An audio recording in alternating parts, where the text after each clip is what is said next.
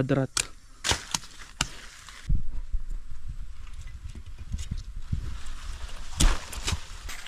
Kaya to. Hukay.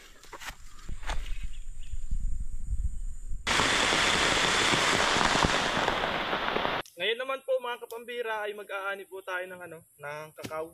Yung po mga pinakita ko sa inyo mga nung nakaraang vlog. Aanihin na po natin ngayon kasi baka po maunahan tayo ng mga kalaban. Marami pong kalaban dito, may daga, may bata. Paboritong paborito po yun ng bata kapag ah, hinog na, gusto nilang sipsipin. Yan. Yung ginagawa po natin tableya ay bawal po yung sipsipan kasi piniperment po yun. Yung pong pulp na ano ay ginagamit po natin para sa fermentation. Kaya Samahan niyo po ako, mag-aani po tayo.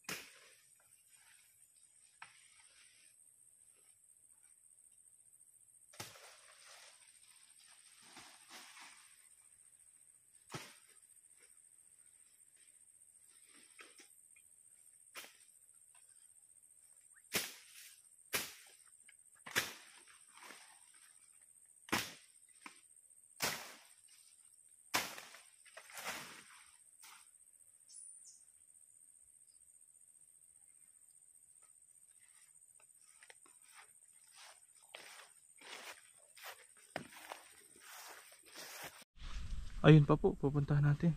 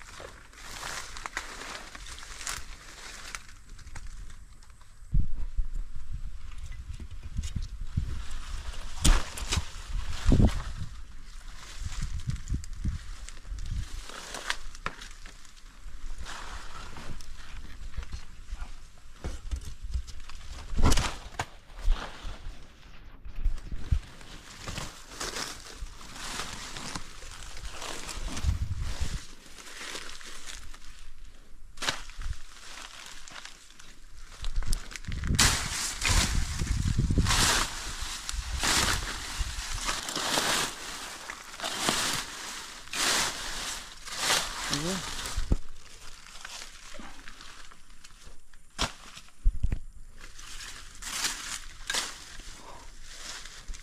Nasakli po yung sanga. Putulin na po natin.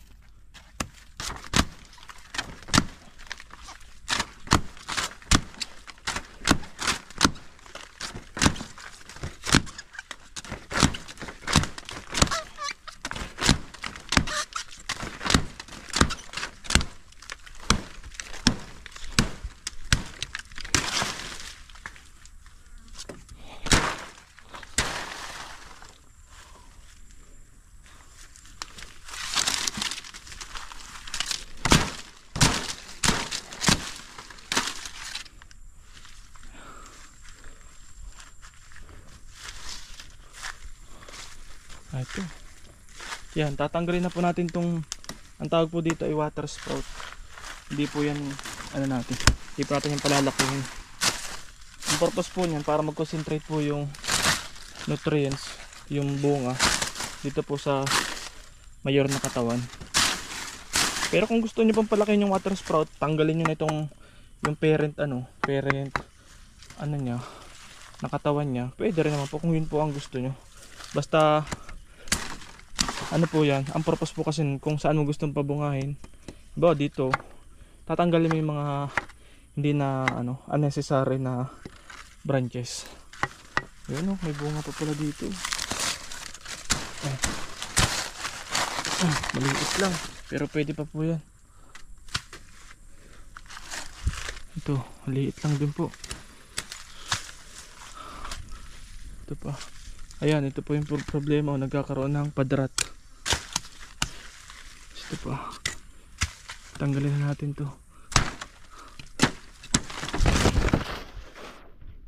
Pwede rin po gumamit ng laghari. Pero pwede rin pong itak. Wala naman pong arte yan basta ang importante po ay malinisan nyo. Ayun, kinakapitan na lang. Ayun, ang dami pong mga tanggalin na po natin yan ito.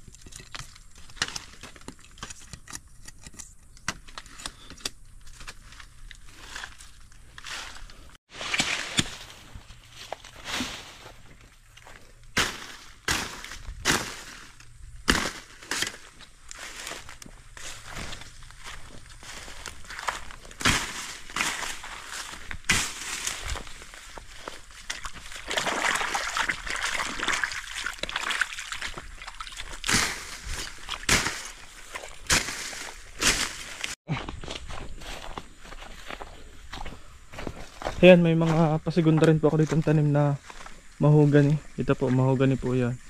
Sa ano sapa. Yan, may tanim din po ako dito kakao. Pwede pa rin sana po itong fish panin kaso medyo mahirap po kasi bulusok na pong masyado yung lupa. Kakao pa rin ako dito eh. Walang bunga. Walang bunga.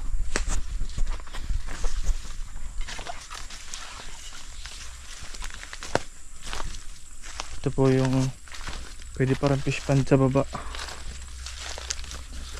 Ka-boundary na po yun ng boundary na po yun ng lupa namin. Ayun o, dati po yung gabihan. Wala na. Tuyot na po. Ito, may mga kakao pa rin po ako dito. Paperwisyo po ng kalabaw, o yan po. Oh. Ayan. Kaya inalis na po namin dito ang kalabaw at hindi po nakakabila ang mga halaman. Ayan. Tapos ito po yung prospect nating rerentahan natin dun sa sa ano natin pinsan. Kasi ito po pwede po itong gawing fish pond malawakan.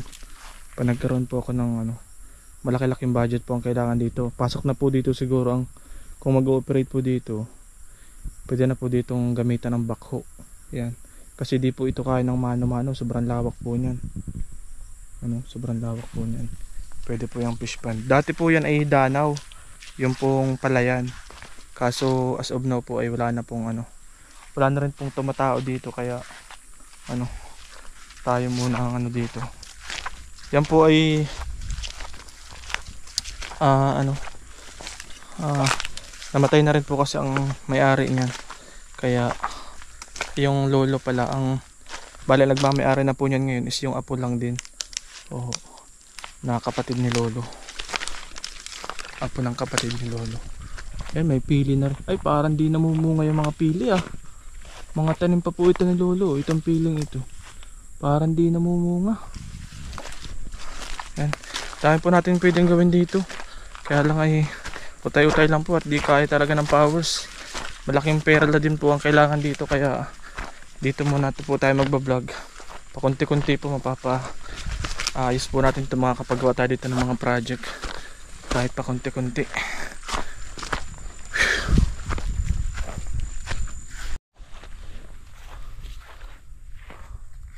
meron pong ano ah. Ano kaya yan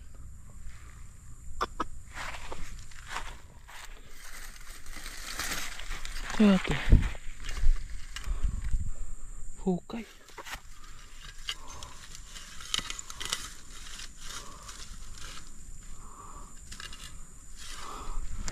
Ano kaya po ito? Daga o ahas?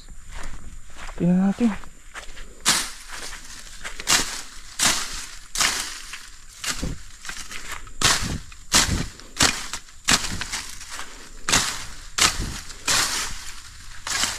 Ano? Tingnan niyo po yung ano. oh. Pinagkutkutan. Ano kaya yan? Bayawak. Maliit lang. Maliit lang ang butas.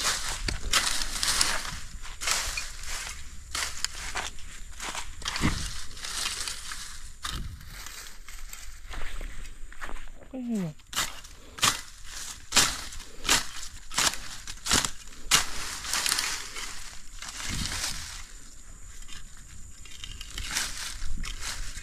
Grabe po yung inat na lupa oh. Sobrang dami. Kakatakot ah.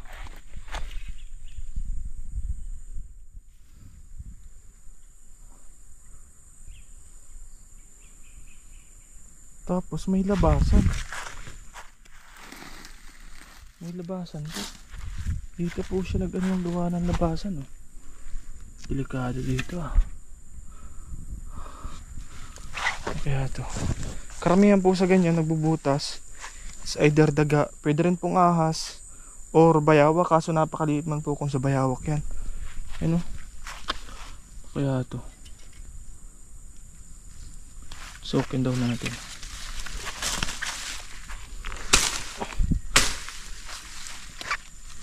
Tingnan nyo po, tingnan natin kung magkano kalalim.